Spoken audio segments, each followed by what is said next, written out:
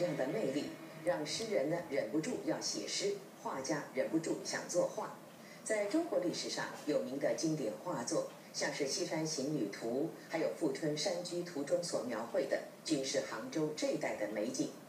画家是怎么被杭州或者江南水乡美景所触动呢？此行我们特地拜访了中国大陆现代山水画代表画家之一的曹文池先生，了解中国画家心中还有笔下的山水世界。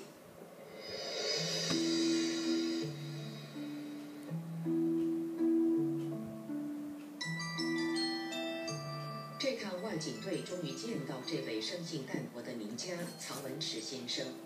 在杭州的采访过程当中，有缘拜访当代名家，这是何等有幸的事！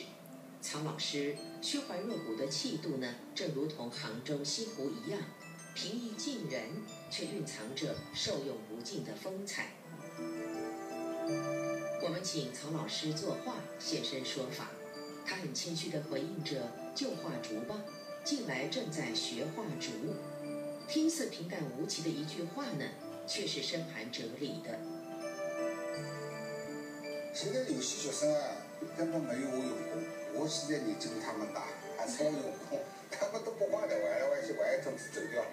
玩一玩就走了，然后您自己在那边。哎，我在那边画。他们会不会是带相机，然后拍拍拍回来再想照片拍的？但是光拍照不行的了，一定要画的。是。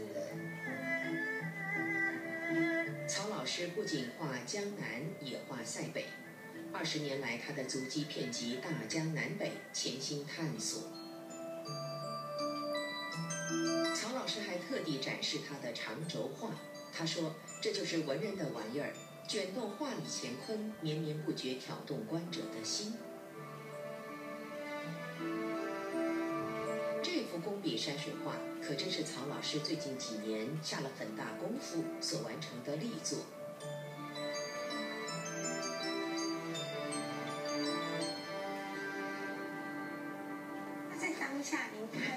景色，比如说看到这棵树，然后您提笔把它画下来，跟您回到我们画室家里面，然后拿就是选。在这里可以的。然后这个这个笔画下来。书写呢有几种，比方讲这种呢是一种收集一种素材，比方说这个地方树下来没什么东西好画，是吧？那么看来这棵树不错，那么就再把这棵树画一画，就是这样子。那像这个地方呢，主要这个地方很漂亮。那么就是说，想把这个人画出来。那你应该常常碰到一个状况吧？就是发现您画完之后抬头一看，哎呀，我画的比这景色本身还好看。啊，应该要这样。应该要这样。啊，应该说艺术嘛，应该比生活更高嘛。嗯。那么应该画了以后，就是这个这个应该比景色要更加好。更加好看。应该这样子，但是要做到这点也是很难的。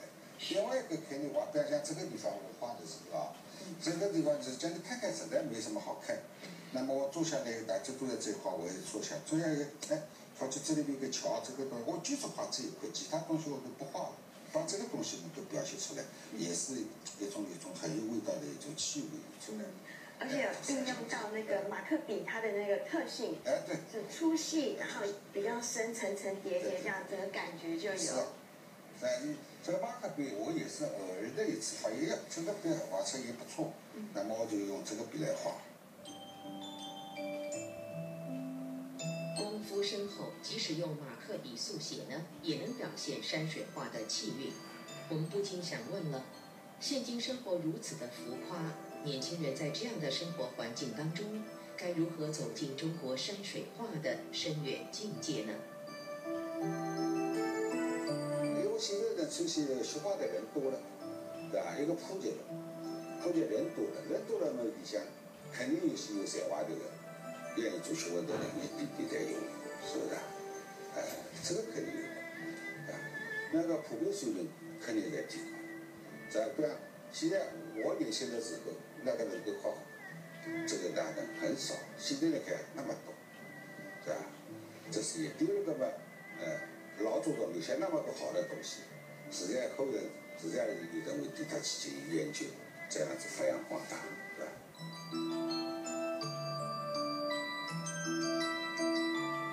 出生在一九四二年的曹老师，虽然在山水画中已有相当的造诣，但一直没有停止画家的思考跟探索。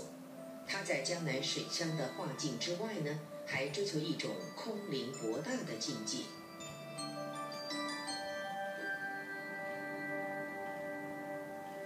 哎，这个呢是话我们这个江南水乡的那一种啊，那一种很滋润的一种，啊，下一点微微的一点小雨，那样子这种感觉。这个是真实有它的地方，还是老师完全靠想象？想象，因为我从小就生生活在这个地方长大的，也是眼睛闭起来的话，家乡的那个这个草原我都很亲切了。是。那么就脑子当中怎么样子把这种啊江南迷迷蒙蒙的一种一种很空蒙的一种感觉，这个我所表现的对象很简单，但是里面呢就一个一个层次很多。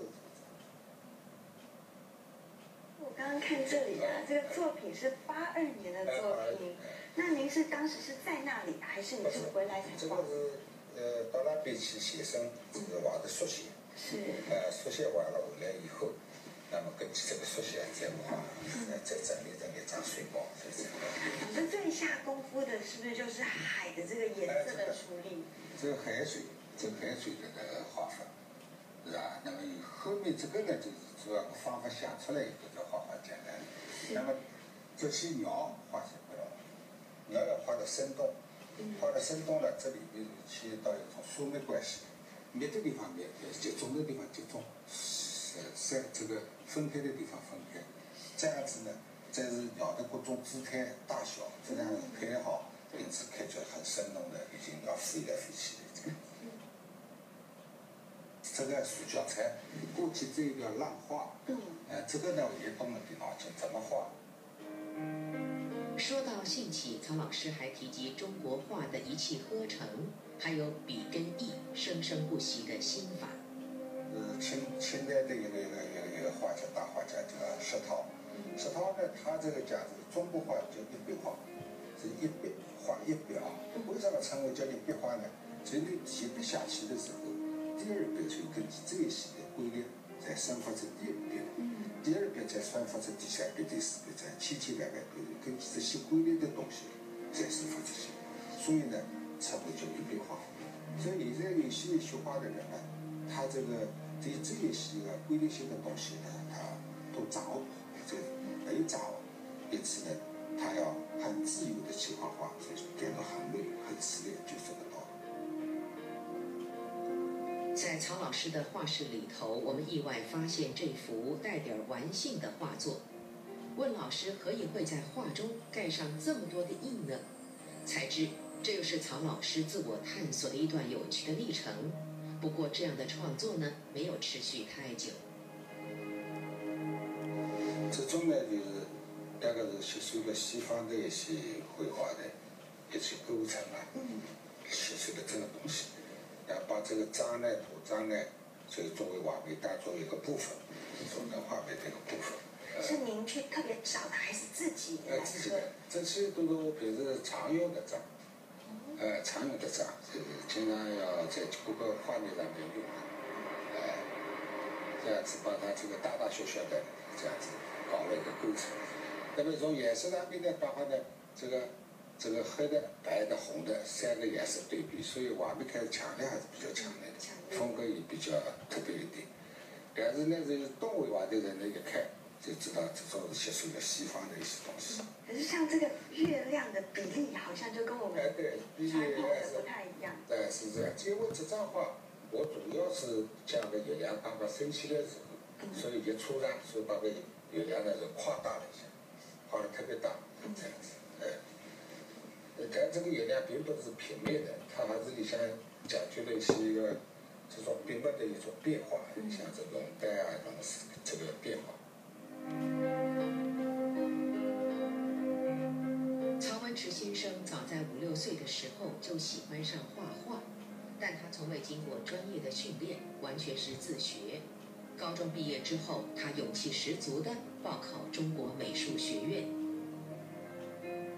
当年美术学院在山水画方面呢，只招收五个学生。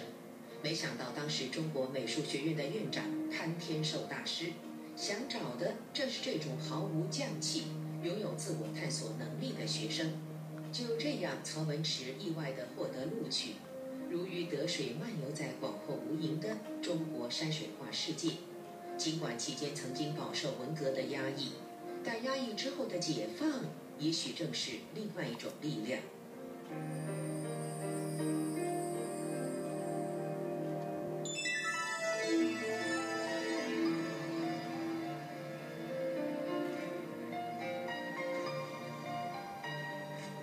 下段节目带领各位走进都景生织锦博物馆，一窥杭州织锦的唐奥。